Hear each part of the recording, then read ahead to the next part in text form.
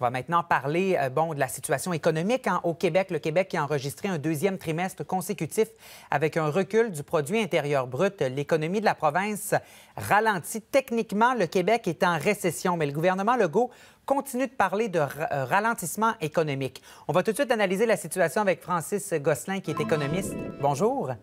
Bonjour, Simon. Bien, tout d'abord, euh, M. Gosselin, on va démêler un peu les termes. Là quand on parle de récession, qu'est-ce que ça veut dire exactement et c'est quoi, si on veut, les ingrédients pour qu'on puisse parler d'une récession? En fait, c'est très simple. Il s'agit d'une période où il y a deux trimestres consécutifs où le PIB euh, diminue. Donc, le volume total de la production d'un pays comme le Canada euh, diminue. Donc, deux trimestres, deux fois trois mois. Euh, donc, c'est pas, encore une fois, ça peut diminuer un petit peu, ça peut diminuer beaucoup. Et donc, c'est vraiment là-dessus qu'on s'obstine, si vous voulez, actuellement. Et euh, c'est qu'il y a certains secteurs d'activité actuellement où on ne voit pas de baisse. Est-ce que c'est pour ça que, bon, on ne s'entend pas nécessairement sur la définition ou sur la situation actuelle du Québec? Non, je pense qu'on peut. Je veux dire, c'est là où, encore une fois, les économistes, on peut peut dire techniquement qu'il y a une récession, mais il y a plutôt effectivement un ralentissement parce que, comme vous le dites, il y a des secteurs d'activité où les affaires vont très bien, d'autres où ça va un petit peu moins bien, mais grosso modo, l'économie fait plus du surplace que de, dire qu'il y a soit de la croissance ou de la récession. Donc, c'est vraiment, on est dans un territoire euh, de stagnation. Donc là, oui, deux trimestres de suite avec une très, très faible décroissance, euh, mais c'est expliqué par plusieurs facteurs externes. Et il est très probable qu'en fait, il y ait un effet de rebond là, qui se produise euh, au courant de l'année 2024. Euh, donc, c'est pour ça qu'il n'y a pas matière à s'inquiéter pour l'instant. Parce qu'on peut, on peut croire que ce repli de l'économie, ce ralentissement euh, sera de courte durée. Pourquoi? La plupart des économistes le semblent s'entendre pour dire que ce sera de courte durée?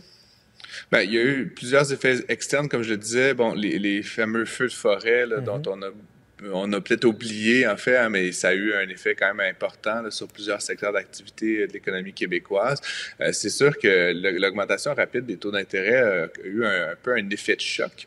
Euh, maintenant, on s'habitue à cette nouvelle réalité. Et puis déjà, aux États-Unis, au Canada, on évoque une, baisse du taux directeur au cours de, l'année 2024. Et ça a déjà commencé à avoir un effet stimulant sur plusieurs secteurs d'activité, l'investissement. Euh, possiblement qu'on va avoir des bonnes nouvelles aussi au niveau de la construction résidentielle au, début de l'année 2024. Euh, et donc, tout ça, comme j'expliquais, ça va créer un effet de rebond qui va totalement compenser la diminution du PIB qu'on a constaté euh, depuis quelques temps. Et le marché de l'emploi qui demeure quand même vigoureux, hein, parce qu'on sait qu'on est en contexte de pénurie de main-d'œuvre. Euh, ça, est-ce que c'est un facteur qui va aider le Québec avec ses perturbations économiques? Ça va aider, mais en même temps, le problème avec la pénurie de main-d'œuvre, Simon, c'est qu'éventuellement, ça devient un facteur qui limite la croissance. Hein. Si vous avez euh, des commandes à l'usine, puis euh, que vous ne trouvez pas les gens pour fabriquer les pièces, les, véhicules, je ne sais trop quoi, euh, ben, éventuellement, ça fait que vous ne prenez pas les commandes ou vous les livrez en retard et ça limite donc entreprise par entreprise, la croissance.